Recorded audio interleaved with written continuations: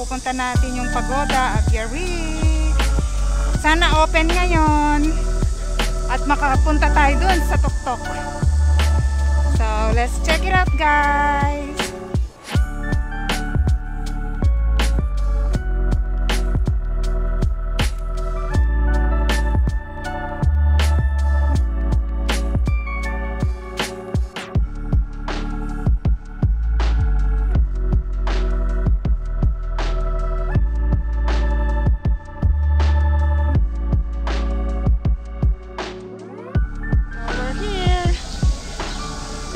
Pagoda Aviary again here in Yunlong. Take two.